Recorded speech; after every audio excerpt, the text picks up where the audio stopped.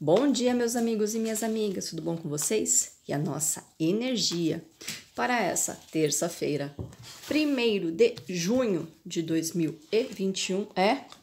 Eita! Seguidinha, a carta do navio, amados. Terça-feira aí de mudanças. Vocês precisam mudar a vida de vocês, vocês precisam ter coragem.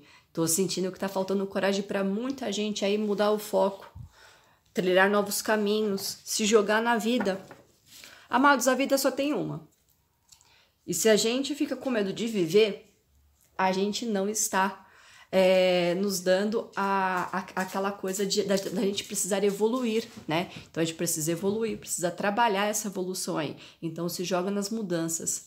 Também a carta do navio trazendo, vem trazendo pessoas na vida de vocês, tá? Então estejam abertos. Uma terça-feira abençoada para todos. Um beijo enorme. Optcha.